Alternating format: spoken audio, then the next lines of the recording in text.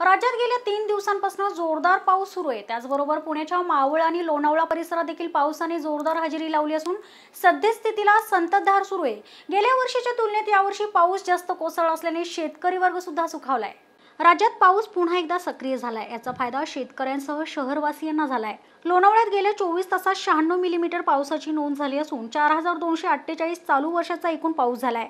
तर गेल्या वर्षी चार हजार एकशे बत्तीस मिलीमीटर एवढ्या पावसाची नोंद झाली होती.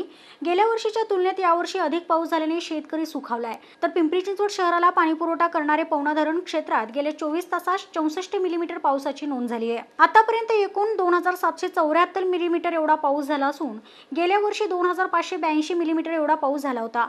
गेल्या वर्षीच्या तुलनेत यावर्षी धरण क्षेत्रात जास्त पाऊस झालाय.